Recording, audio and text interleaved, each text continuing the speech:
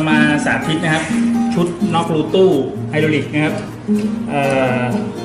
model SHK 8D นะครับแบรนด์โอมาสตาตัวนี้กำลังนะครับ 11 ตัน สามารถเจาะสแตนเลสนะครับน็อกสแตนเลสเนี่ยที่ความหนา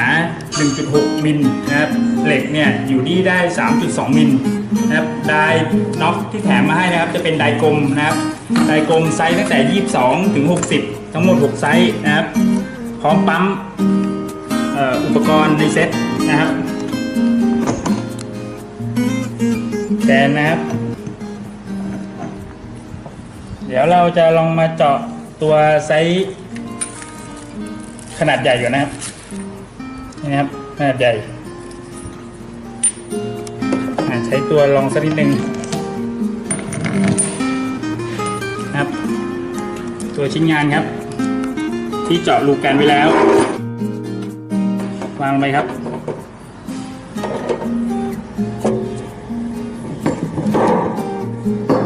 ปิดวาล์วครับ ที่ปั๊มนะครับปิดวาล์วให้สนิทแล้วโยกครับ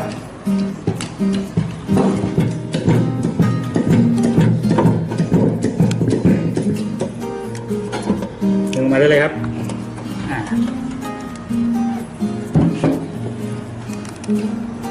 วิธีการปลดนะครับ ก็คือคลายวาล์วที่ตัวปั๊มนะครับ นิดเดียวครับ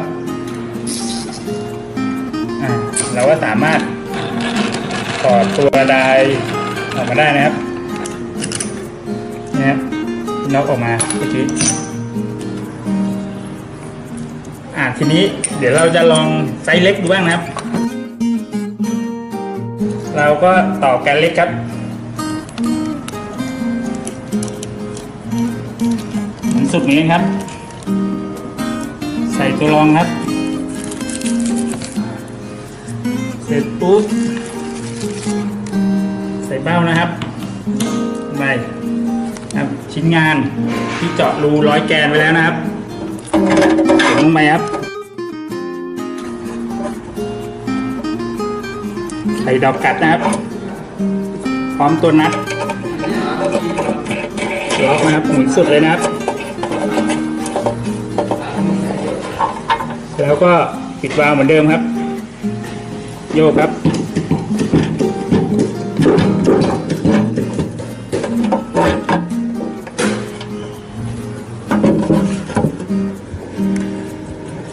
อันนี้เนี่ยจะเป็นดายเฉพาะนะครับ เป็นดายสี่เหลี่ยม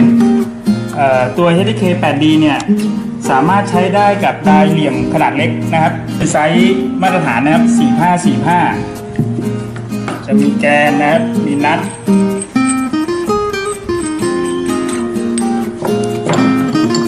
ใบกัดครับ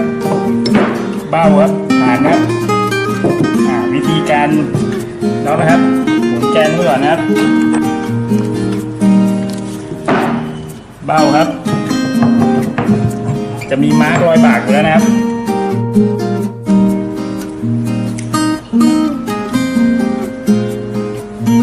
ตามสลักล็อกไว้ครับ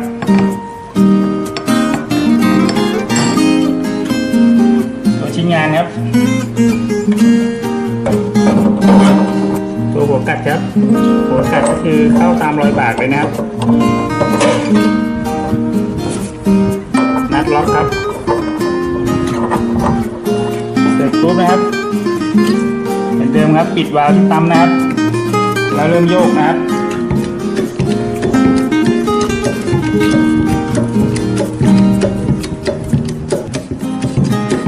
นี่คือเป็นงานที่ไว้ใส่มิเตอร์ ใส่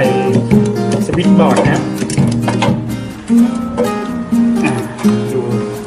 ความเนียนนะ